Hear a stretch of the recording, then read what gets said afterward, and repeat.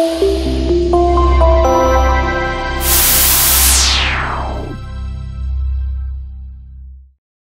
everybody, this is John Costigan, and this is called How to Leverage the Higher Levels to be able to get your deals done. So how to use that leverage. So, uh, and I think I referenced on an earlier recordings that um, I'm part of a Vistage speaking group, and I and I speak a lot, a lot, of times to CEOs around the country. And there was one here locally in Raleigh that I spoke with, and there was um, um, there was a woman in the room. She's the CEO, and she's a scientist, really really smart, and they had a very very very large deal. I mean, like fifty million dollar opportunity they're trying to close. It's been going on quite a long time, and and uh, we were able to talk about that. And and I think one of the things that she started to realize was she said, you know, I got so stuck down in this level, I forgot to leverage these people up here to kind of move that down. She goes, I don't think I used did the best, John, uh, of leveraging that. And she's she's brilliant, you know, wonderful, wonderful person.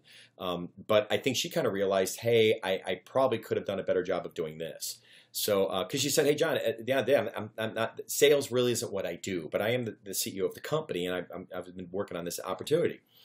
So I said, "Well, you know, this reminds me of uh, what happened with one of my clients." And I told her the story that I said I had, I had, a client in Dayton, Ohio, a large printing company that I was training for quite a while, and but I was about two months into it, and I was doing training. One of the things I did in class was I was making my live cold calls, and we found an opportunity where it was almost a million dollar opportunity we didn't even know about that I was able to uncover live right on the phone in class. Well it's about two months later, a month and a half later, I get a phone call from somebody out of the procurement department.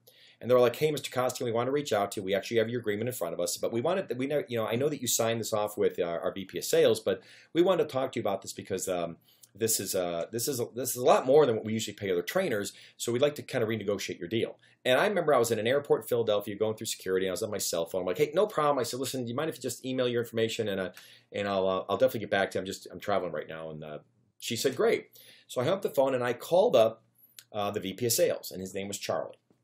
So I said, "Hey, Charlie," uh, and and remember, I have rapport with Charlie. He's the one who he's the one who brought me in. And just like just like this woman I was talking about here at the, the, CEO, she had rapport with these people too. She did, but she kind of forgot to really leverage them when things start getting stuck down here. And um, so that's what made me think about the story. So I called Charlie and said, "Hey, Charlie." I got a phone call from this woman. Have have no clue who she is, and, and that's fine. She's out of purchasing, but she started asking me for. She started asking me a lot of questions, and she wanted to re- renegotiate the price. and And Charlie said to me, he "Goes, well, did you happen to tell her that one of your calls you made like a month and a half ago uncovered a 1.2 million dollar opportunity for us?" And I said, "No, uh, nobody. But out of all due respect, I think you should tell her that, not me." And uh, he's like, "You know, you're right." Because if I do it, I sound like a vendor.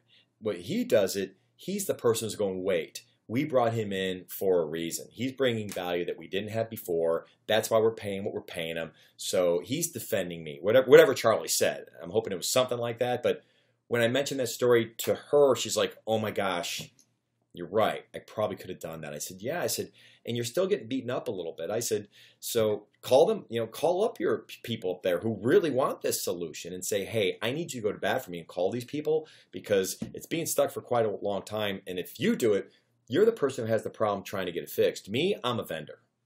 So long story short, I know the well, long, leverage your relationships at a higher level, but then the real question is, do you have them? And if you don't, that's a whole nother video. Okay, so anyway, good selling, everybody.